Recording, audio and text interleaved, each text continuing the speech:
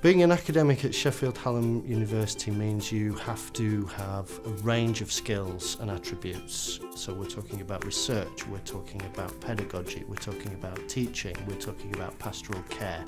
All of those together in a package are what makes a good academic at Sheffield Hallam University. So as an academic here at Sheffield Hallam, I've had the opportunity to travel the world, which has been a real privilege. Um, and with my students as well through field work through our geography degrees. So for example, I've been countless times to Berlin and to Shanghai. In addition to taking students to Shanghai to do field work, I've also had the chance to conduct my own research there. The relationship between research and teaching is an absolutely fundamental one. So one of my modules that I teach on the geography degree, globalisation debate, I talk about the rise of China, its impact locally and globally, and I can draw on first-hand observations of Shanghai as a city.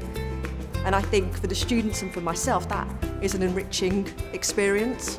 We're one of the biggest universities in the UK and because of that there's great opportunities for interdisciplinary research to work with people from all different disciplines, everything from healthcare, sport, biomedical sciences, engineering, um, arts and design, through education, social policy. So it's a great place really to be a researcher. We did really well in the last Research Excellence Framework. We went up 25 places in the league tables for that and what was really rewarding about that was the uh, the pat on the back that was given to the individual um, research active staff it was a reward for them and a recognition for them for all their hard work. As an academic at Sheffield Hallam, it gives me the freedom to research the areas of chemistry that really interest me.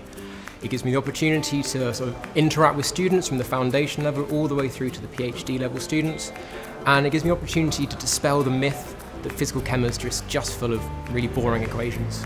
Um, I really enjoy being an academic at Sheffield Business School, particularly because if you're enthusiastic about learning, you get the opportunity to actually continue your own development. It's not just a one-way street where students are developing through your input, but actually they give something back, and through that you, you actually develop as a, a scholar. There are several things that are great about working here, but probably the best is the people. We've got a great, fantastic group of students here and they make coming into work every day such a fantastic experience. We've also got wonderful industrial links and that means that the research we do is tied in very tightly to current industrial problems and that again is a great strength of our university.